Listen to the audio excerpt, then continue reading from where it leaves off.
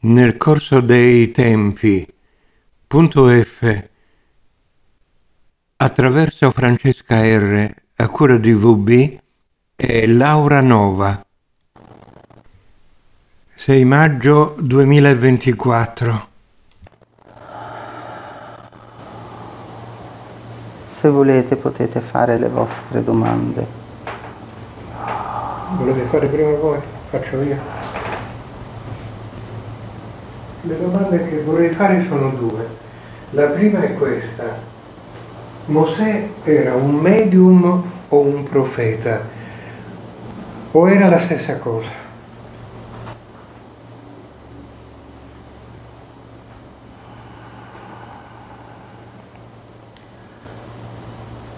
Nel corso dei tempi il termine medium ha preso un significato più corretto nell'intesa di tramite, mezzo.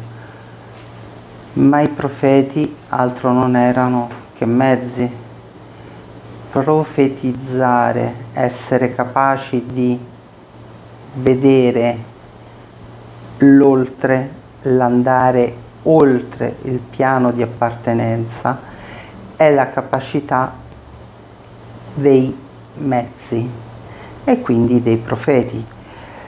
Nei tempi vostri passati i profeti erano soprattutto rivolti a una visione in chiave religiosa perché l'argomento che riguarda la crescita e l'abbattimento dell'io, spesso nel corso del divenire del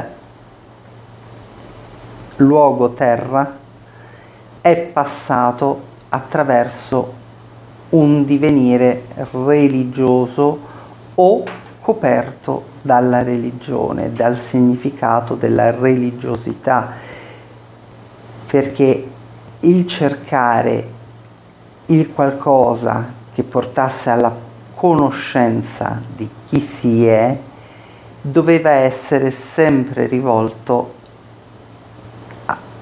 attraverso la figura, l'immagine di un Dio. Questo perché il concetto di Dio, di assoluto e di non separazione ma di inclusione totale e di essere, di divenire, era molto complicato da spiegare. Lo è tuttora a voi pensate in tempi completamente differenti. Ovviamente si è cercato di portare attraverso i mezzi del tempo il messaggio di abbattimento dell'io.